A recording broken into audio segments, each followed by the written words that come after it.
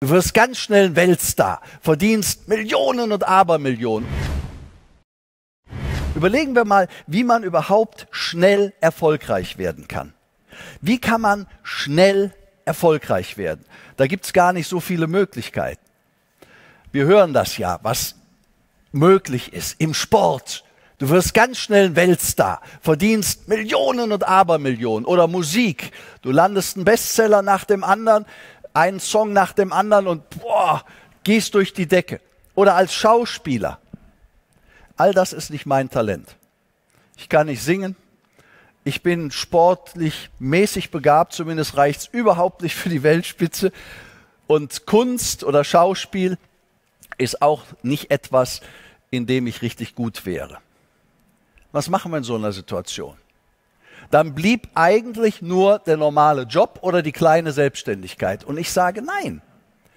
Du kannst trotzdem deine Ziele erreichen, indem du Unternehmer bist oder in der Firma als Intrapreneur arbeitest, ein gutes Marketing verstehst, Unternehmertum verstehst. Und das hat alles seinen Ausgang mit Positionierung. Und vielleicht können wir uns auf eine Definition einigen, was dein Geschäft ist, egal was du machst, wenn du selbstständig bist, ist dein Geschäft, dein Geschäft zu vermarkten.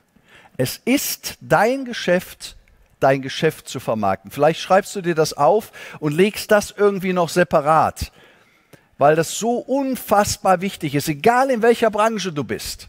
Ganz gleich, es ist immer dein Geschäft, dein Geschäft zu vermarkten. Dieser Satz ist keine Wahrheit. Es ist dein Geschäft, dein Geschäft zu vermarkten, ist keine Wahrheit. Was ist das dann? Es ist ein Glaubenssatz.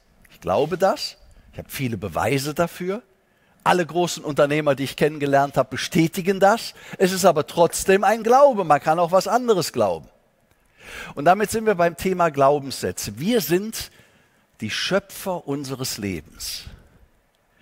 Du bist der Schöpfer, die Schöpferin deines Lebens. Immer wenn du denkst, schaffst du, schöpfst du etwas, erschaffst du etwas. Wenn du fühlst, erschaffst du etwas. Wenn du sprichst, redest, erschaffst du etwas. Und wenn du etwas tust, bist du Schöpfer.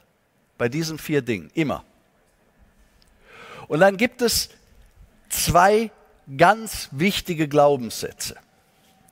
Und diese beiden vielleicht wichtigsten Glaubenssätze überhaupt, die du haben kannst, überleg mal, welche das sein könnten, dann sage ich dir meine.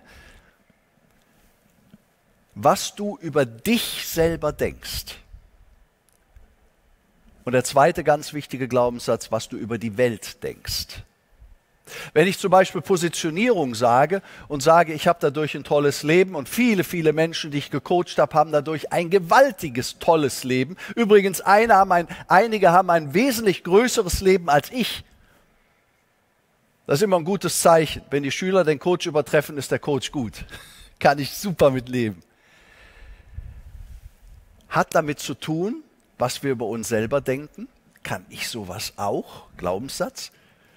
Und ist das in der Welt überhaupt möglich, was wir also über die Welt denken? Sprechen wir über Verantwortung?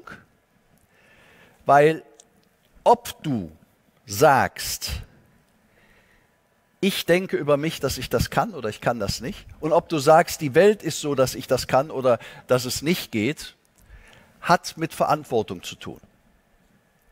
Und das Verantwortungskonzept, ich stelle es ja immer unterschiedlich dar, ist eins der wichtigsten überhaupt, was wir lernen können. Wir können in kein Seminar gehen. Wir können in nichts gehen, ohne über kurz über Verantwortung zu sprechen. Das ist der Bereich, den wir kontrollieren können. Und wir haben einen viel größeren Bereich. Das ist der, unser Interessenbereich, den können wir nicht kontrollieren. Also zum Beispiel war es bei der Bundestagswahl vielleicht dein Interesse, dass bestimmte Parteien nicht gewählt werden, damit wir keine Vermögenssteuer bekommen. Könnte ja sein. Oder vielleicht war es dein Interesse, dass sie gewählt werden, damit die Vermögenssteuer kommt. Das ist nichts, was du kontrollieren kannst. Du kannst deinen Stimmzettel abgeben, aber wer gewählt wird, weißt du, kannst du nicht entscheiden. Das ist dein Interessenbereich. Interesse. Und das ist dein Kontrollbereich. Den kannst du kontrollieren. Habt ihr den Unterschied verstanden? Ganz wichtig, Kontroll-Interessenbereich. Jetzt kommt etwas ganz Wichtiges.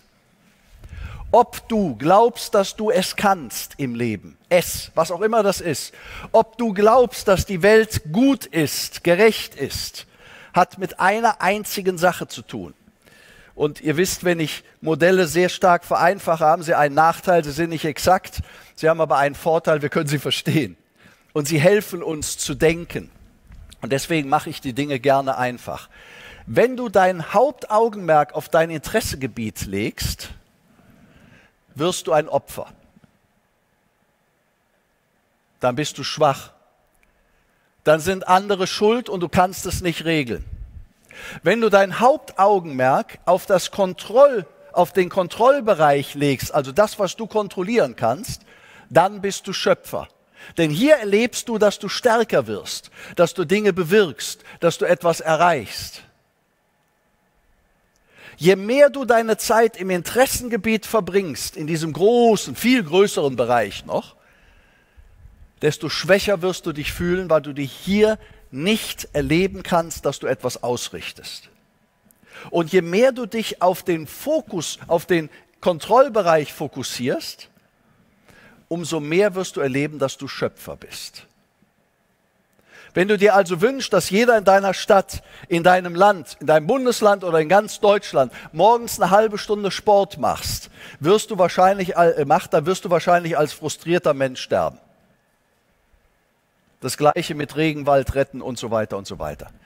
Wenn du aber erreichst, dass du jeden Morgen eine halbe Stunde Sport machst,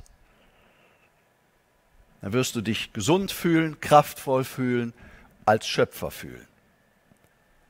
Und wenn du jeden Tag oder jede Woche ein paar Bäume pflanzt irgendwo, wirst du dich besser fühlen, als wenn du dich dein ganzes Leben darüber aufregst, dass überall Bäume abgeholzt werden.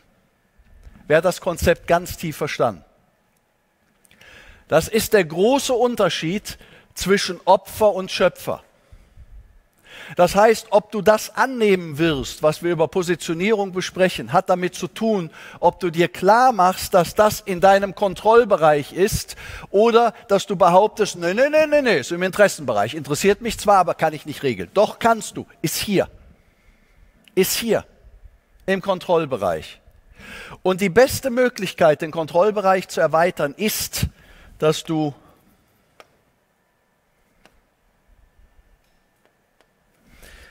im Kontrollbereich deinen wirksamsten Punkt auswählst und sagst, auf den fokussiere ich mich. Das ist dann dein Fokus. Das ist ja irgendwie kontraintuitiv, denn was ich gerade sage ist, du machst ein größeres Leben, du erweiterst sogar dabei deinen Kontrollbereich,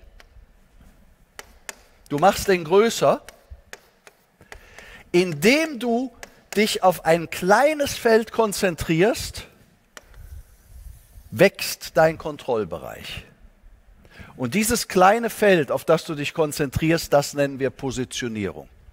Das heißt, von all dem, was du kannst, wirst du dich in deinem Kontrollbereich auf das Wirksamste konzentrieren, was ist, und wirst dadurch größer werden, mächtiger werden positiven Sinne, einflussreicher werden. Wir wählen in unserem Kontrollbereich die größte Chance.